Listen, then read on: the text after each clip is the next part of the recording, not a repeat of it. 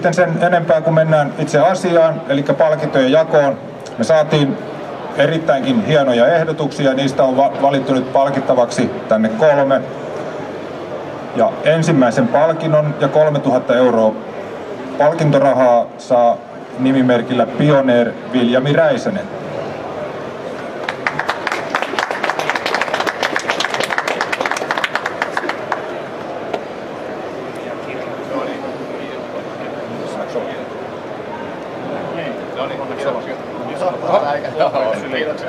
Ei tullut syliä aika paljon.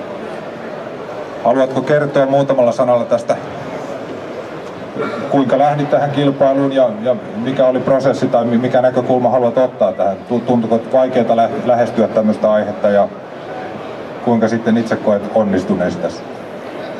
No tota niin, niin ihan uusi aihe oli itselle, että aika paljon muotoiluinstituutissa ollaan autoja muotoiltu ja kaikkea muuta kuin jun paalujuntauskoneita.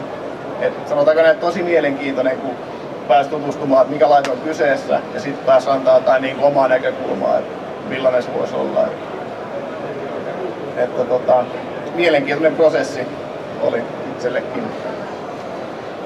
Kiitoksia. Tällainen muotoilukilpailu osallistuminen tämmöisen työn kohdalla ei tietenkään anna koko kuvaa siitä muotoiluprosessista ja tuotesuunnittelusta, miten se oikeasti tehdään, mutta, mutta tässähän tietynlainen näkökulma ja uusi näkökulma voidaan tämmöisille tuotteille antaa.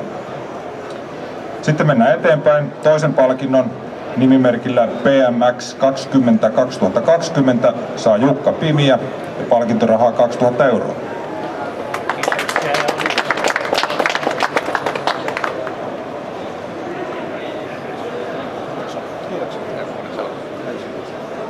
Samoin sulta voisin kysyä, että, että kuinka lähestyit tätä aihetta ja kuinka homma sitten meni? No tota, mulle tää työkoneiden maailma ei ole sillain, sillain niin vieras, että mä oon niitä tehnyt.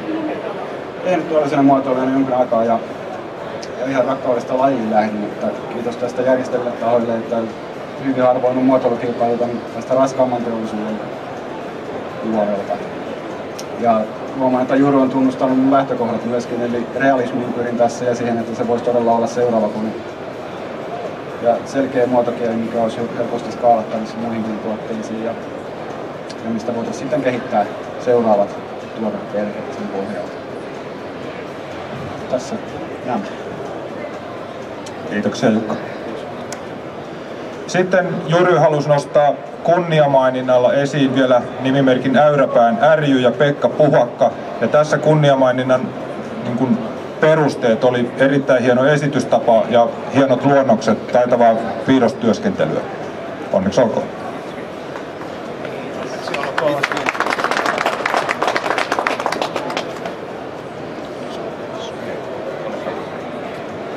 Samalla lailla mä annan sulle mikin ja saat sanoa muutamalla sanalla taustoja. No joo, ajoneuvomuotoilijoita niin kuin tuo Viljamkin.